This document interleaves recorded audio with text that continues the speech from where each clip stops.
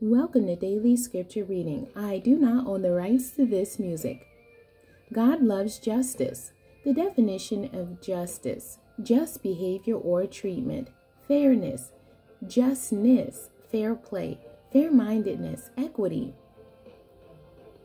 honor, uprightness, decency, integrity, honesty, righteousness, ethics, morals, morality, virtue, principle, right mindedness trustworthiness, incorruptibility, lack of bias, lack of prejudice, the quality of being fair and reasonable, justification and soundness.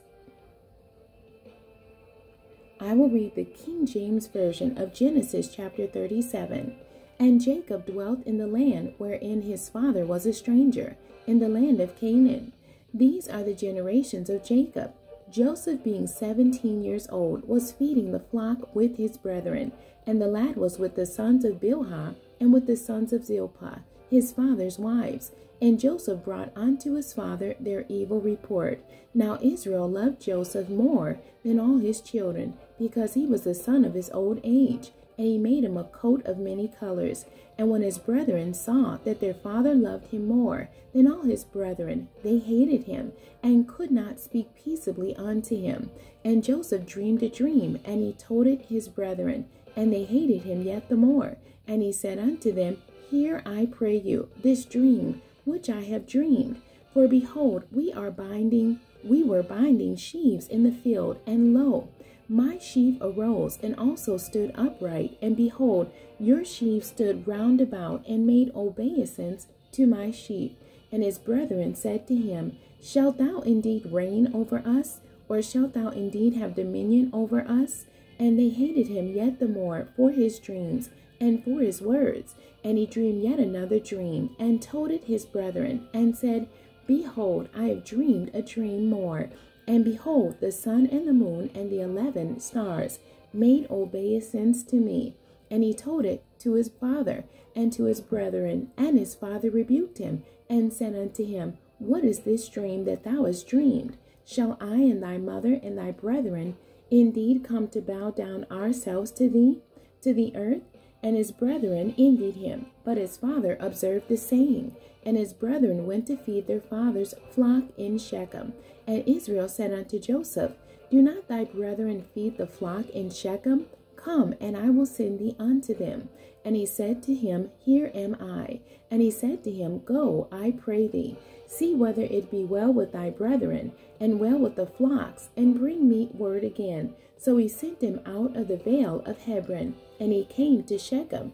And a certain man found him, and behold, he was wandering in the field. And the man asked him, saying, What seekest thou?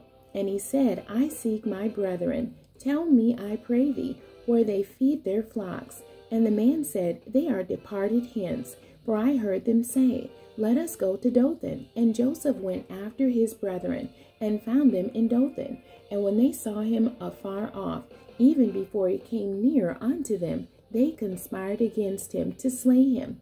And they said one to another, Behold, this dreamer cometh. Come now, therefore, and let us slay him, and cast him into some pit, and we will say, Some evil beasts have devoured him, and we shall see what will become of his dreams. And Reuben heard it, and he delivered him out of their hands, and said, Let us not kill him.